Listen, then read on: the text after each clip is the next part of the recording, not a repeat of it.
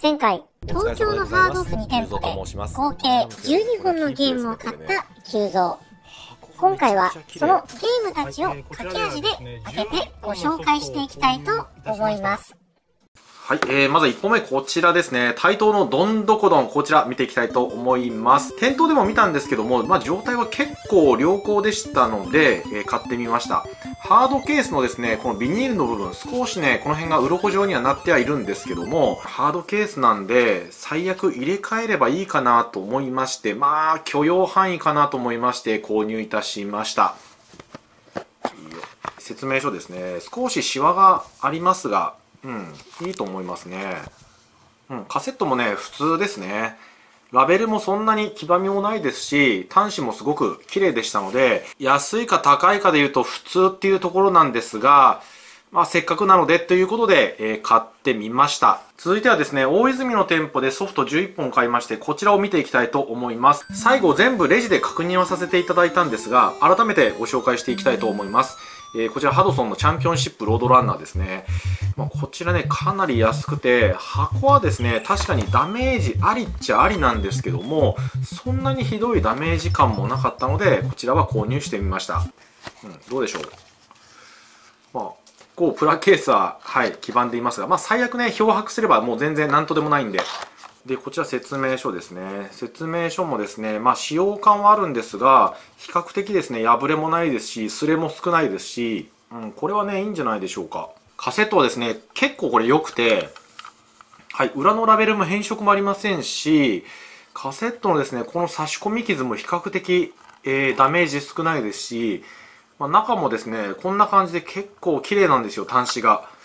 はい。これはね、いいお買い物できたと思いますね。はい。えー、続いては、いただきストリート、イタストですね。こちらもね、なかなか1100円ということで、これパッと見めちゃくちゃ綺麗なんですよ。ただ、この辺がですね、少し汚れがあったりですとか、あと裏面、ここね、多分ね、防犯タグの剥がし跡だと思うんですけども、かなりね、ベタベタしてるんですよ。これね、あの、店員さんにも大丈夫ですかとは聞かれたんですが、これね、なんとか綺麗に剥がせそうなので、しかもね、これ1100円っていうかなり安いものだったので、買ってみました。はい、えー、どうでしょうか？もう結構ね、これ、箱が全体的にピシッとしていて、真っ白ですごく綺麗なんですよ。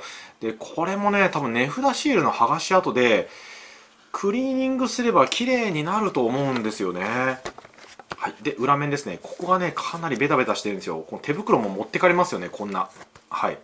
開け口もですねとても綺麗ですし耳もしっかり、え、ついてですね状態はすごくいいと思います、えー、こちら説明書でございまして説明書はですね少しこの辺が折れがあったりとかはあるんですけども全体的にですねこう読み込んだ感もないですしあこもれてるかうんまあ結構比較的綺麗なんじゃないでしょうか。こちらもですね、先ほどのロードランナー同様変色が強いんですけども、これもね、漂白すれば何とでもなるかなと思いまして気にせず購入いたしました。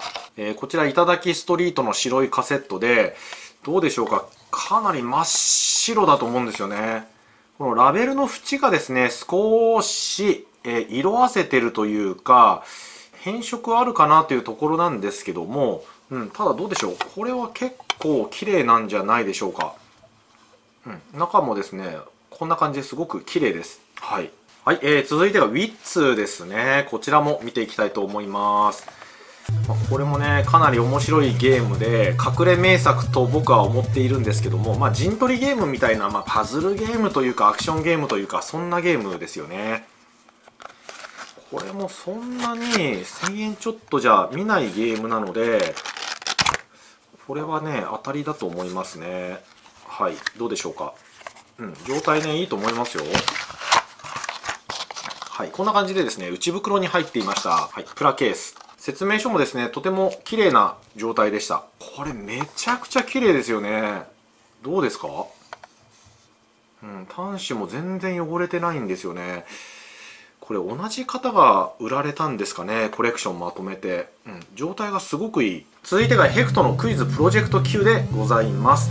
これもですねどうでしょう？2 3 0 0円で売られてるイメージなんですけども1000円ちょっとでこの状態っていい意味でやばいですよねここが少しダメージあるのかここもね少し折れていたりはありますが、うん、色あせもですね、そんなに激しくないですし、これはいいんじゃないでしょうか。はい、えー、開け口もですね、耳も良好ですね。ちょっと変色のあるプラケースかな。こちら説明書でございますが、説明書ってちょっとだけ大きいんですね。先ほどのですね、ウィッツの説明書と比べると、こんな感じ。これもね、状態いいですね。なんとなしにヘクトのカセットって、このグレーというか、この色が多い印象があるんですけども、これもね、状態いいですね。汚れとかも全然ないですもん。中中もすごく綺麗ですね。うんいいと思いますねこちらも。はい、えー、続きましてはハイスコアのファリアですね。これあの説明書が付いてなかったんですけども説明書を後で調達するとしてですねこれで1000円ちょっとってもう買いしかないですよねこれ。この状態で説明書とか付いてたら下手すると5000円前後で売られていたりとかしますからねこれ。はい中もですねとても綺麗ですね。ここが少し真ん中ね押しじわみたいのがついていますが。ああと裏にですね値札シールがついているんですけどもこの値札シールはすごく綺麗な値札シールで簡単に剥がせそうですねこれは、うん、プラケースはすごく綺麗。これですねカセットもすごく綺麗なんですよ。ピッカピカ。多分ね全然遊んでないんでしょうねこのカセットで、うん、中もですねすごく綺麗ですね。はい、えー、次がですね、店員さんのご好意で、えー、裏から出していただいたソフト、えー、ご紹介していきたいと思います。えー、アルゴスの戦士ですね。これもね、結構死にゲーだったりとかして、あの、いろんなところから飛び降りてですね、すぐゲームオーバーになって、トラウマ級の僕はゲームなんですけども、はい、これもね、えー、こうか。はい、どうでしょう。綺麗ですよね、これも。今回買ったゲーム、結構箱が全体的に良くて、あいい買い物できたと思います。少しだけ汚れがあるプラケースですね。変形もなくいいと思います。説明書はですね、この辺が折れていたりとか、はい、少し汚れもあったりとかですね、この辺が、はい、えー、折れていたり、えー、シワがあったりとかしますが、うん、まあでもですね、どうですか？悪くないですよね。悪くないというかいいんですけど、はい。カセットはですね、一見綺麗なんですけども、裏面のラベルが変色があったりとかですね、ここがかなり遊ばれてるというか、ガンガンガンガンこう差し込まれた跡があるかなっていう感じですが、ただ正面がめちゃくちゃ綺麗ですね、これね。また大切にこれ保管されていたのか、中の端子がすっごく綺麗。全然これクリーニングなしで普通に遊べそうですよね、これね。続いてはディープダンジョンの4ですね。こちら見ていきます。これもね、僕が結構見るディープダンジョンの4って、あのー、黒いカセット特有のですね、あのー、端っこが擦れるというか、多いんですが、これかなりですね、ピッカピカで備品なんですよ。あの、レジで中見させていただいた時に、なんかね、これが一番綺麗な感じでした。箱も多分ね、あんまり開けてないんでしょうね。ここの反発が強いですもんね。はい、どうでしょう？うん、これはいいですね。ワンオーナーだったのかな？これはね、綺麗だと思いますよ。はい。えー、ピカピカのプラケースですね。で、えー、こちらがハガキと注意書きが3枚入っておりました。これ見ると、シワとかも、ほら、全然ないんですよね。裏はちょっとね、この辺がバババーっと入っていますが、全然読んでないんだろうな、これ。あなんかページがですね、もうこのまま硬直してる感じ。すっごく綺麗。